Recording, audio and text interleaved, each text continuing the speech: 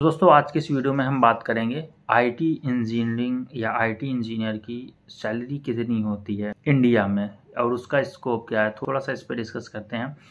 तो दोस्तों, मैं बता दूँ कि मेरे चैनल का नाम आईटी इंजीनियर है। इसका मतलब ये नहीं है कि आईटी इंजीनियर सिर्फ़ एक कोर प्रोफ़ाइल है। जब आप आईटी की बात करते हो ना information technology computer science basically जब अब इसकी बात करते हो अब जैसे मेरे चैनल का नाम होता है कंप्यूटर साइंस तो इसका मतलब ये नहीं कि सी एस में सिर्फ़ डेवलपर ही हैं, या आईटी में सिर्फ़ नेटवर्क के ही बंदे हैं तो ऐसा नहीं है। आईटी इंजीनियर एक बहुत बड़ा पार्ट है और बहुत स्कोप है। मैं आपको कुछ एग्ज़ाम्पल यहाँ देता हूँ, बाकी मैं बता रहा हूँ, लाखों टूल्स आईटी के हैं। जहाँ पे आप सिंगल एक टूल सीख के आप लाखों करोड़ों कमा सकते हो आईटी में इतनी ज़्यादा सैलरी है और इतना ज़्यादा स्कोप है अब आईटी इंजीनियरिंग के अंदर जैसे आपके आ जाते हैं आप बैक एंड डेवलपर हो आप फ्रंट एंड डेवलपर हो आप पाइथन में हो आप आईटी सपोर्ट में हो टेक्निकल सपोर्ट में हो पीएचपी में हो डॉट नेट में हो एआई में हो मशीन लर्निंग में हो नेटवर्किंग में हो लाइनेक्स में हो डेवॉप्स में हो क्लाउड में हो एज्योर क्लाउड आप पढ़ रहे हो अली बाबा पढ़ रहे हो मतलब there are lot of things in IT actually so आप यहाँ पे कर क्या सकते हो? आपको अपना इंटरेस्ट देखना पड़ेगा कि आपका इंटरेस्ट किसमें है। जैसे कोई बंदा है, मान लो, वो बोलता है कि नहीं, मुझे बहुत मज़ा आता है यार कोड करने में। जब मैं कोड करता हूँ और उसको डिप्लॉय किया या उस कोड को रन किया, और जो वो बन के पूरा कोड एक रेडी होता है ना तो उसको बहुत मज़े आते हैं। मान लो मैं एक सॉफ्टवेयर इंजीनियर हूँ, अगर फॉर एग्ज़ाम्पल और मैं कोई कोडिंग कर रहा हूँ, मैं एक एप्लीकेशन बना रहा हूँ एप्लीकेशन पूरा प्रॉपर बनाया, मैंने एक दिन, दो दिन या दस दिन बैठ के,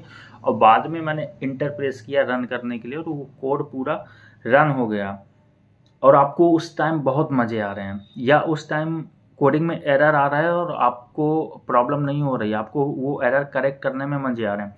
तो आप समझ जाना कि आपको कोडिंग में इंटरेस्ट है, और वहीं पे दूसरे एंड पे अगर आपने दो चार लाइनें कोडिंग की लिखी, कुछ एरर हो गया, आप फाइंड आउट नहीं कर पा रहे हो, आप नहीं सोच पा रहे हो कि इसमें करना क्या है, आप गूगल कर रहे हो, यूट्यूब कर रहे हो तो ये मेरे एंड से बता दूँ तो आप समझ लेना कि आपको कोडिंग में इतना इंटरेस्ट नहीं है।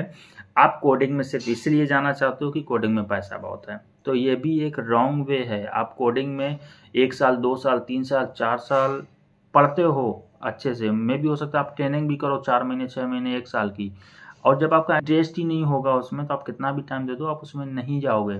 तो मेरे कहने का मतलब यहाँ पे ये है कि सैलरी आईटी में बहुत है, लाख भी है, करोड़ भी है चार चार दस दस करोड़ के पैकेज भी जाते हैं आईटी में। बट मैं आपको बोलूँगा कि आपको आईटी की सैलरी देख के नहीं आना है। अगर आप आईटी में सैलरी देख के आए तो आप स्टक हो जाओगे, आप फंस जाओगे वहीं पे। आप पहले इंटरेस्ट देखो किसमें है।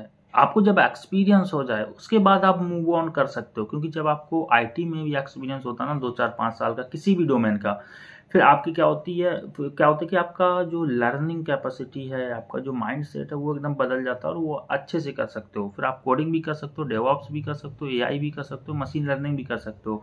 बट उससे पहले आपका बेसिक मज़बूत होना बहुत ज़रूरी है, अगर आप आईटी में आना चाहते हो। आप डेस्कटॉप सपोर्ट में आओ आईटी सपोर्ट में आओ टेक्निकल में आओ एटलीस्ट आप आईटी में तो आओगे और इसके बाद आपके पास मल्टीपल ऑप्शन होते हैं यार आईटी में।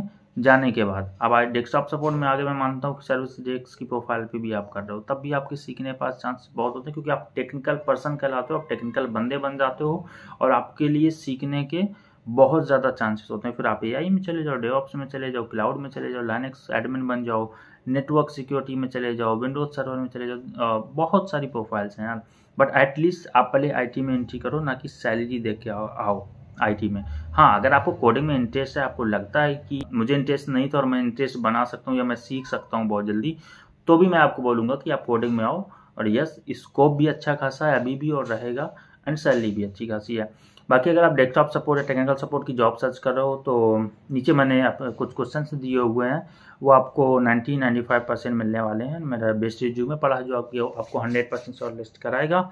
तो मेरा नाम है शुभम मैं मिलता हूँ नेक्स्ट वीडियो में then have a great moment and don't forget to like share and subscribe. Thank you so much for coming here